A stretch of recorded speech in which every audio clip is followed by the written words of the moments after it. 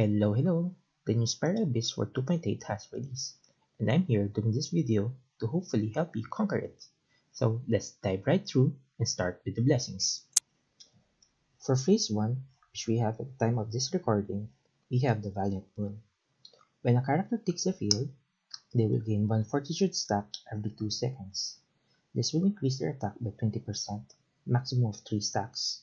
When characters with 3 stacks hit opponents with charge attacks, a shockwave will be unleashed in the opponent's position, dealing true damage.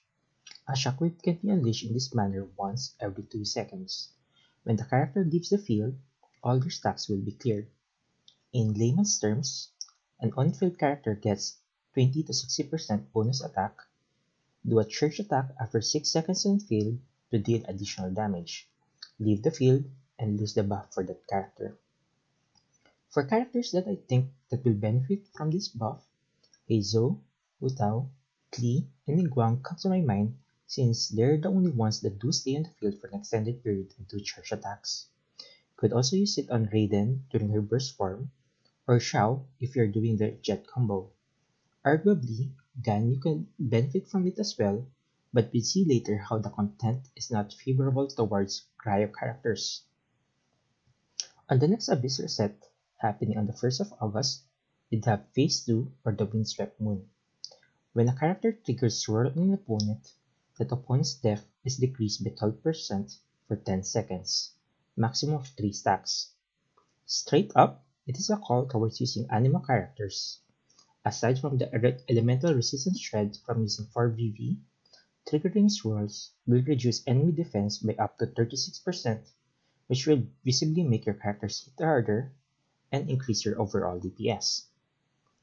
The last Abyss phase for this patch, which will take place on the 16th of August, at the Shivered Moon Blessing. After the active character's normal, charge, or plunging attacks hit opponents, that character's normal, charge, and plunging attack damage is increased by 12% for 8 seconds. This buff works well for characters that scale well with their normal attack damage Obviously, it was meant to highlight Yoimiya for her banner later in the patch, but the buff also helps Xiao plunges, Hu Tao charge attacks, and Razor and other physical builds with their normal attacks. Floor 11 grants a 75% pyro damage bonus, so if you can, maximize it by bringing your best pyro characters. The first chamber is a monolith defense. First half features cryo-based enemies so pyro characters are at further advantage with melt. Second half has regular mobs, so some sort of crowd control will be good with Anemo characters. 11-2 first half has cryo, electro, and hydro based enemies, again reinforcing pyro supremacy. And second half have Fatui agents of different elements. You can plan to counter specific enemies with elements for their shields, or prioritize eliminating them before they can get their shields up, or use Anemo to make those shields work against them. The first half of the third chamber sees the return of a hated enemy, the Thunder Manifestation. Everyone that has seen the ad for a certain gadget know well enough that bringing in an electro unit is a bad idea here because the enemy is electro immune. Instead, pyro characters are better to trigger overload or hydro to have electric charge, or best, bring both trigger overweight Range units are good too because the thunder manifestation keeps on moving around. Second half has three Abyss Mages with Hydro, Electro, and Cryo. Same with the previous chamber, you can opt to tar target counter their shields or use an Anemo unit to swirl them together. For actual lineups, Pyro DPS units are obviously best, especially for the first half. The existence of the Thunder Manifestation Chamber 3 suggests Yoimiya as a strong candidate. However, because the two other chambers are mob-based floors, Xiangling remains to be the best bet for me. To fill in the other slots, some form of national with Bennett and a Hydro application is highly suggested. Based on my characters, I opt the core of Xiangling, Bennett, and Xingqiu, and choosing a range driver like Sucrose.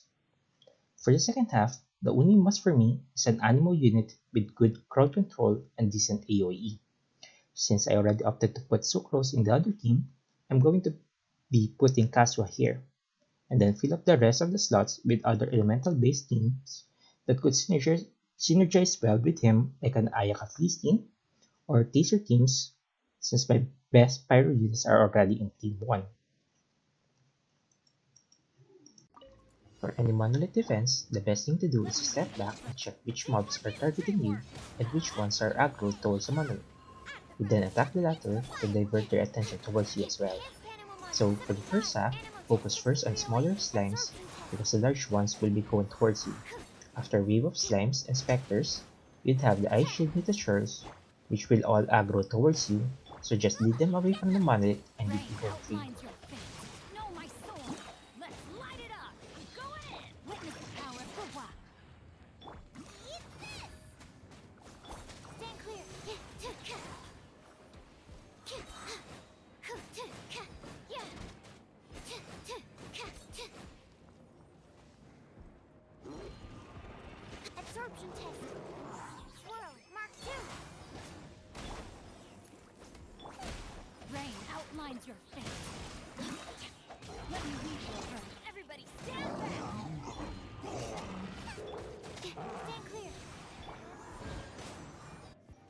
For second half, same theme.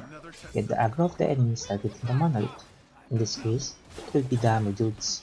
So just distract them or stagger them and you'll be pushing through this floor.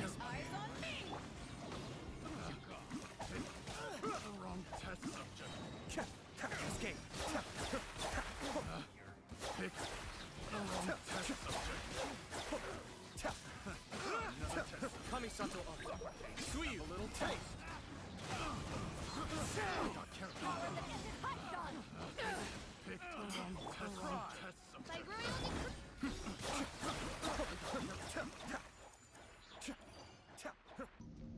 Floor 11-2 is nothing special, just your DPS check. Although with the second half, in case you didn't bring units to specifically counter shields, make sure to target those enemies first and prevent them from getting their shields up.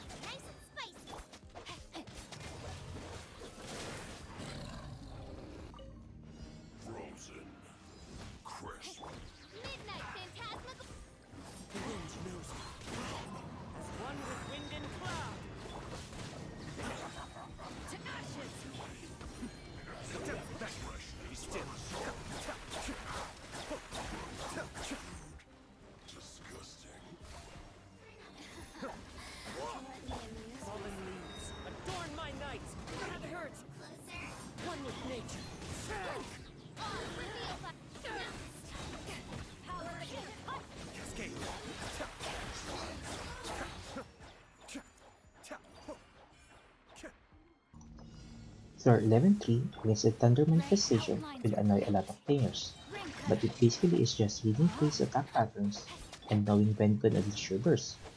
Things to dodge will be the closing electric curtain as well as the cracking beam. Make the most out of your range attacks like Singer's Rain Surge or Catalyst attacks, which will auto-target to damage him.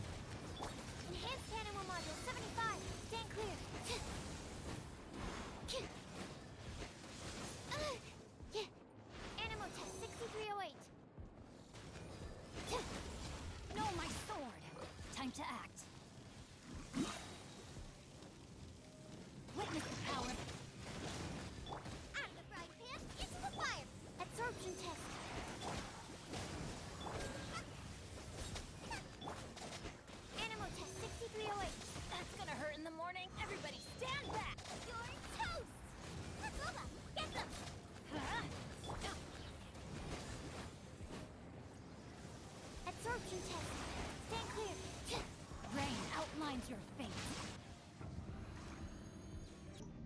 Second half of this floor against the three Abyss Mages is kinda like Tumbless Domain.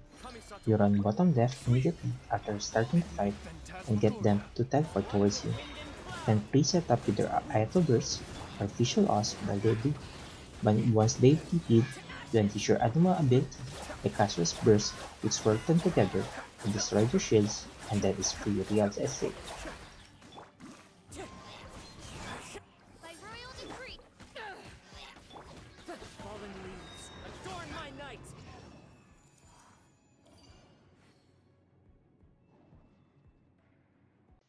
There's no ley line buff for floor 12 sadly. First half has a lot of cryo shields, so again, a pyro team is optimal here.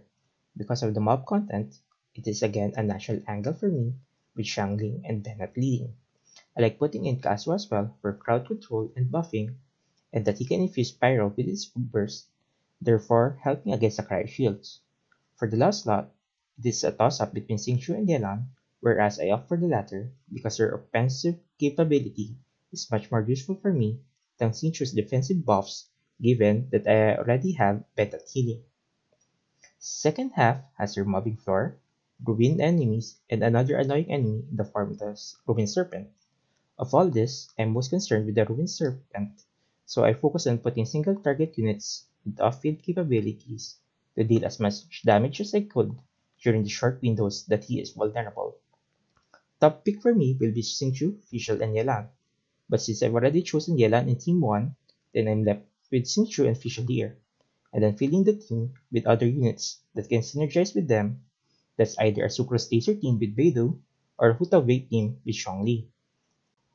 Floor 12-1-1 has a lot of small mobs, so you'd want to be dealing AoE damage as much as you could.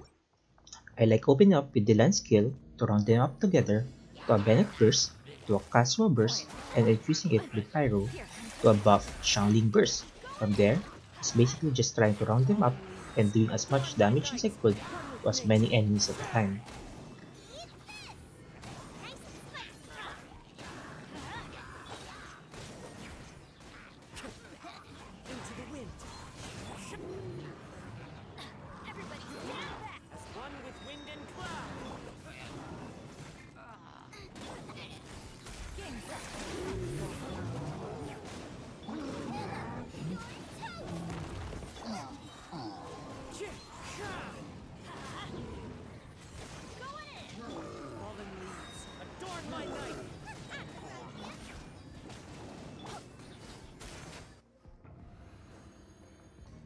Second half starts off with 3k Ragis and once you're done with them, two Nobushis follow afterwards. This half also features an Electro node which at first looks to be very ad- disadvantageous towards a Taser team. However, note that you will still have Xingqiu's Rain Swords and Sucrose Swords that will remove this Electro Aura easily, so it's not really a problem. Since this is the first chamber, you can also easily just put in another king to clear this with 3 stars, and reset with using the Taser King for the next 2 chambers. Or, maybe just run your Hutao slash Pyrobate carry across all if you can deal with the mobs one at a time. Only call out here is to kill both Kairagis at the same time, otherwise the last one will heal and extend your clear.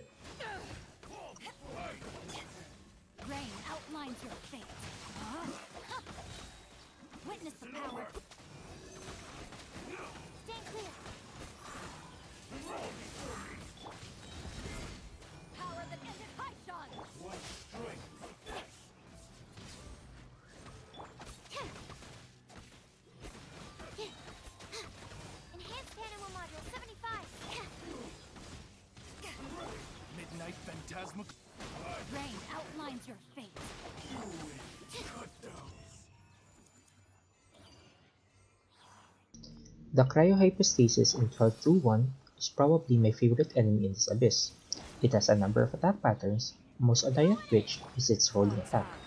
The way I deal with it is if it does this, I lure him towards the edge to prevent him from running elsewhere. As for his other attacks, I use it to set up my characters and just unga bunga whenever he is vulnerable.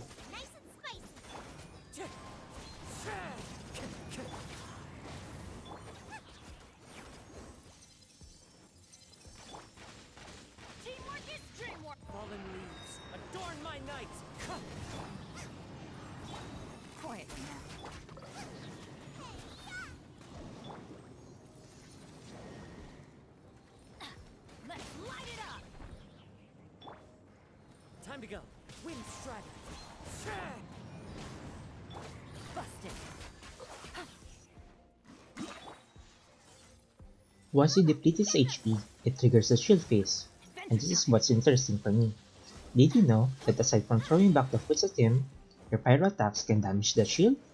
The time-saving technique I found out is the Guoba tech, wherein you throw out Guoba at the start of the shield phase to let him help in melting shield, while you charge attack on the fruits. When doing this, you only need to throw back 2 fruits compared to 3, which saves you a few seconds. Also, remember to stand close to the Cryo Hypostasis when he's throwing the fruits so that it wouldn't be too far away, therefore saving more time. Second half of Assault 2 is among the most annoying for me because of the RNG on the ruined enemies. Ideally, you'd want to start it by running beside one of the Doritos to force him to jump backwards to the other Dorito. However, triggering this has been inconsistent for me.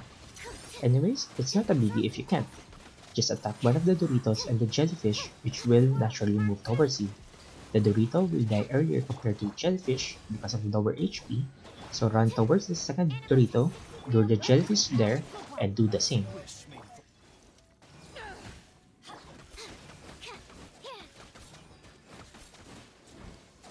Once you're done with this wave, there's another RNG whether the snake will move or not. You can stay still to survey which one will burrow and run towards the one that stays still.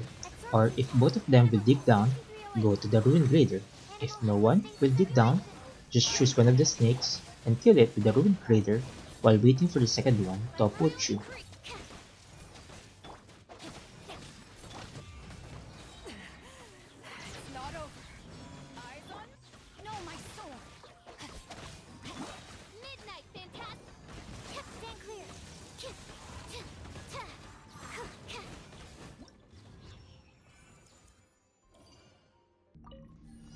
Floor 12.3.1 has a Slowing Waters debuff, which will make the cooldown for your skills 150% down.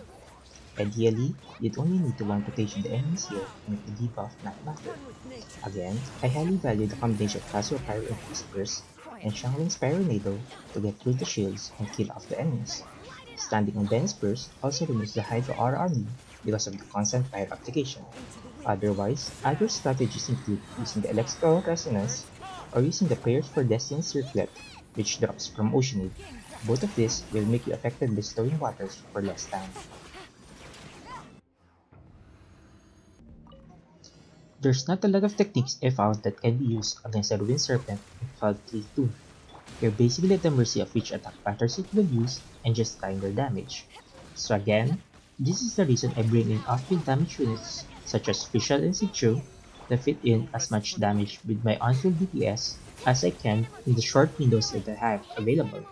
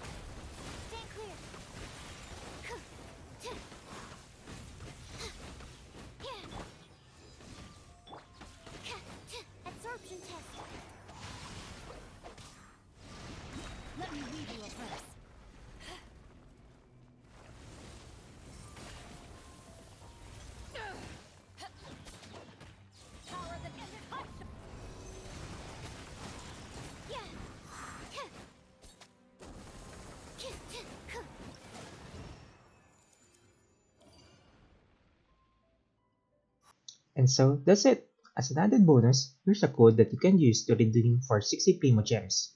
Hopefully, this guide has been helpful in your clears. If it did, I'd appreciate the like and subscribe to encourage me to do more in the future. Till then, GG's!